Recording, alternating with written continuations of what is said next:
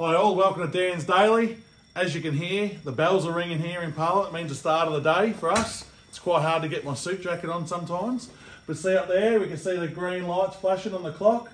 That means we've got to be in the chamber as quickly as we can. So we've got five minutes for the start of the day, but usually we only get four minutes when there's a division. So going to be on my way very quickly here, talking on some important topics this week, and really can't wait to get things going. It's been a uh, Great time in Parliament so far for the last couple of days. Uh, had some great meetings, some really uh, good, engaging meetings.